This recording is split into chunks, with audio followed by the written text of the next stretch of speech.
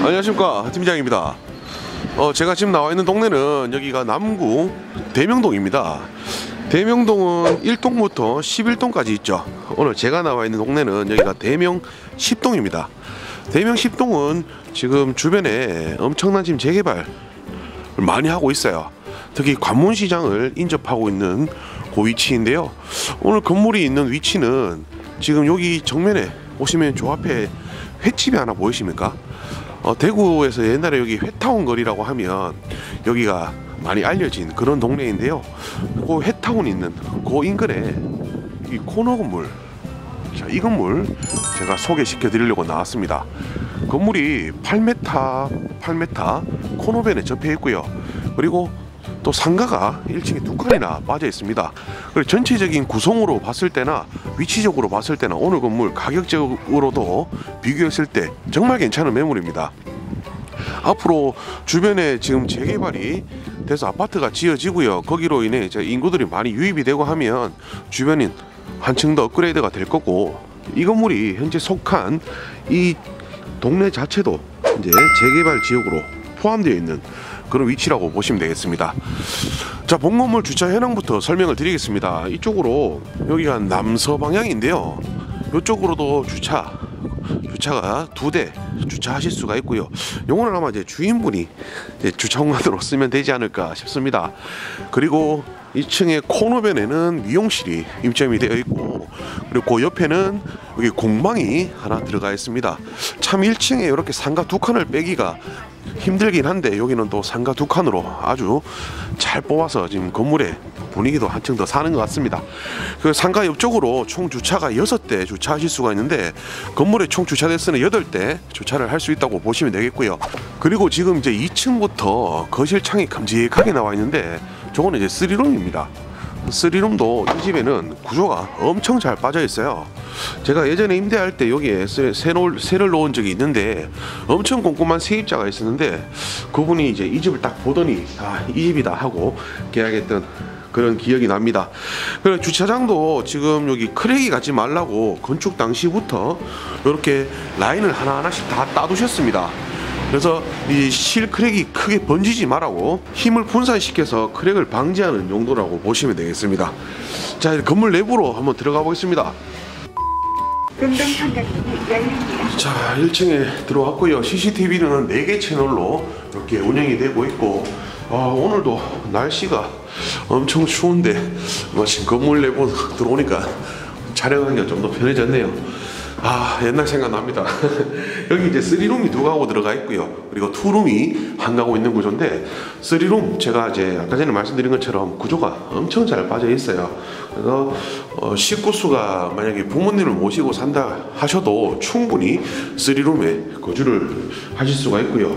어, 계단마다 뭐 좋은 글귀가 이렇게 다 써여놨네. 지난 일 후회하지 말자. 좋았다면 행복이 나빴다면 좋은 경험이다. 야, 이런 뭐 좋은 글귀도 있으니까 올라갈 때도 그게 심심하지가 않네요. 자, 여기 3층에도 3룸 두 개와 2룸 두 가구로 그렇게 구성이 되어 있는데 3룸은 전세 1억 천 정도 받고 있고요. 2룸 같은 경우에는 전세 6천. 야, 임대료도 지금 엄청 싸게 받고 있습니다.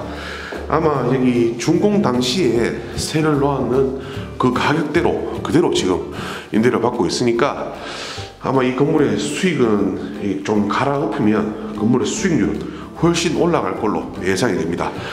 아, 좀 이게 글을 하나하나 다 읽고 올라가고 있었습니다. 잘 될 거라고 큰 소리 치는 사람이 진짜 잘 된다. 아마 영상 보시는 분들 모두 다잘될 것입니다.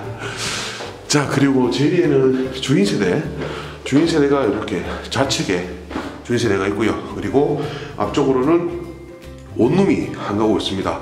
야, 이 집에 제가 올라오면서 느꼈던 게 이 집 방화문 자체도 세입자 방도 아주 뭐 문양도 있고 고급져 보입니다. 그리고 여기는 주인 세대 아, 옥상도 지금 이렇게 주인 세대 단독으로 쓸 수 있도록 이렇게 막아 두셨어요. 옥상에 올라가서 주변 보여드리면 더 좋은데 일단은 내려가서 제가 지도를 첨부해서 영상 내용을 그리고 건물 위치를 다시 한번 더 설명을 드리겠습니다. 자 1층에 내려왔고요 본 건물 내용 제가 설명을 드리겠습니다 상가 두개 원룸 하나 투룸 두개 쓰리룸 네 가구로 구성이 되어 있고 주인 세대까지 있는 그런 건물입니다. 가구 수는 총 10가구로 구성이 되어 있고요. 현재 대지 건물의 대지 253제곱미터 건물 504제곱미터 대지 평수 구평수로 환산하면 76.5평 건물은 153평입니다. 2015년 5월에 준공이 났고요. 뭐 북서 남서 코너 8m 접하고 있는 건물입니다. 현재 매매가 15억에 나와 있고요. 그리고 대출 5억에 주인 세대까지 임대 시 임대 보증금 5억 3천만 원. 현재 인수가 4억 7천만 원입니다. 건물에 나오는 수익 312만 원 이자 제외하고 145만 원 남는 건물이고요. 주인 세대를 거주를 하신다.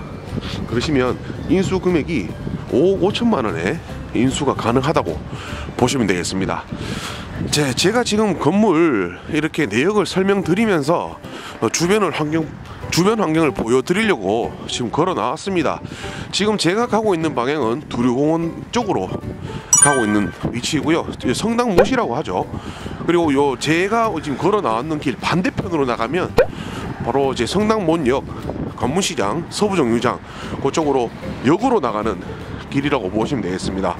자 지금 이렇게 나오면 쫙 여기가 성당못입니다. 지금 운동하고 있는 분들도 많이 보이고요. 그리고 차량 이동도 참 많고 그리고 오늘 건물 임대 수요자가 이 건물 뒤편에는 바로 가톨릭 대학교 병원이 있습니다. 대학 대학병원 대형 병원이 있기 때문에 임차하는 조건도 참 좋은 그런 위치라고 보시면 되겠습니다. 그리고 여기는 또 여기 가까워서 뭐 살림 가구 사실 분들 그런 분도 임차를 많이 하시고요. 그리고 이쪽으로 나오면 바로 또 버스 정류장이 가까이 위치해 있고 어 그래서 교통이라든지 생활 환경도 참 편리한 그런 위치라고 보시면 됩니다. 앞으로 호재가 많은 지역이고요. 개발이 엄청난 그런 동네라고 보시면 되겠습니다. 위쪽으로 보면 이제 이랜드 타워도 바로 보이시죠? 이랜드 타워 기준으로 주변 쭉 둘러보시면 아 오늘 건물이 어떤 입지에 있고 어떤 환경이라는 걸 한 번에 확인할 수 있는 아주 동네 분위기가 밝은 건물이라고 보시면 되겠습니다. 오늘 영상 여기서 마무리하도록 하겠습니다. 어찌 편하게 잘 보셨습니까? 앞으로도 좋은 영상으로 인사드리겠습니다. 구독, 좋아요 부탁드리겠습니다. 감사합니다.